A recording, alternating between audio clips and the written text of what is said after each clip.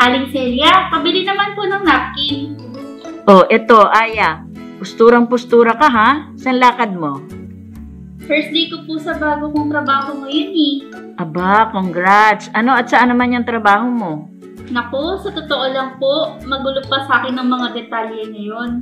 Bali, ang nangyari lang, may nag-message sa akin sa Facebook kasi nakita raw nila ang mga selfies ko nung nagtatrabaho pa ako sa stall ni Auntie sa food park. Inalokan nila ako ng trabaho bilang server sa isang exclusive na restaurant.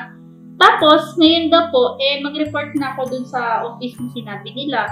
Pero, hindi naman nila nasabi kung anong tawag dun sa restaurant na yun. Tsaka dapat raw ganitong kurmahan pagpunta at diretso na rin daw sa resto pagkatapos ng interview.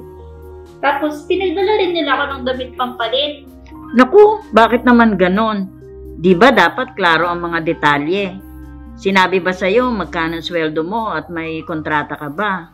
Eh, sabi po kapag nagpunta ako doon ngayon, doon pa lang ibibigay. Maganda rin naman ang sweldo kaya subukan ko na rin po siguro. Kahit na hindi ako sigurado kung ano yung kontrata. Kasabuan na aling selye, alam mo naman nung nag-uumpisa ang quarantine, nagsara yung stall ni auntie dahil wala nang tumatambay sa food park. Uy, Aya! Kumusta? Nakita ko nakausap mo ba nitong nakaraang araw si Missy? Tatlong araw na daw kasi siyang nawawala eh. Paalam lang daw na papasok sa bagong trabaho. May pagiging cashier daw dun sa isang exclusive restaurant. Ha? Teka, saan resto daw yun? Eh, di rin alam ng pamilya ni Missy. Basta, may screenshot lang nitong usapan nila ng recruiter na nagsabi saan dapat mag-report para sa trabaho si Missy. Teka, ito rin yung kausap kong recruiter ah. Naku, ngayon ay duda na rin ako sa kumukuha sa iyo ha.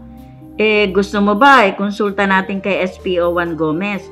Yung pulis diyan sa presinto na nag-lecture sa barangay nung bagong magpasko.